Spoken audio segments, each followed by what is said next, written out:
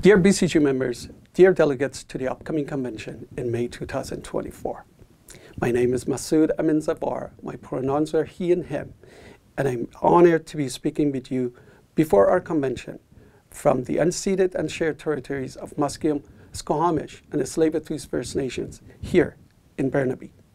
Friends, we are going to the convention with a huge task, electing new members to the leadership of our union, a leadership that, in my opinion, would fight for us at all levels, put members' interests first, and improve our lives in our bigger community called BC.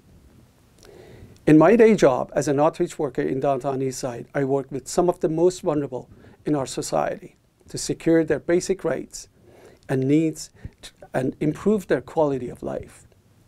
As a union activist for 16 years, I've been committed to improve the lives of our members, building power from the shop floor. It is in workplace that we get together and we start to build our union. I'm a shop steward, occupational health and safety co-facilitator, and the chairperson of one of the biggest local in BCGEU with about 5,000 members. If I'm elected as your EVP, would like to work in some of those areas. A strong mandate to support uh, our members at every bargaining table. Lift members with the lower wages up. Focus on occupational health and safety issues and provide more resources. Finding more solutions to help our stewards and empowering them at their work sites. Together, we need to go after disrespectful employers, those ones that violate the collective agreement on a regular basis. We need to show them the union power. Continue the good work in the area of organizing, like the recent organizing that we had with Atira Women, improving members' engagement.